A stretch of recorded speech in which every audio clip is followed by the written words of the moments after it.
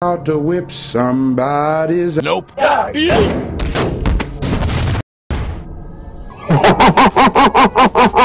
Now that I have taken over this body, I have free reign to say the N-word whenever and however I please. Then say the N-word! Nick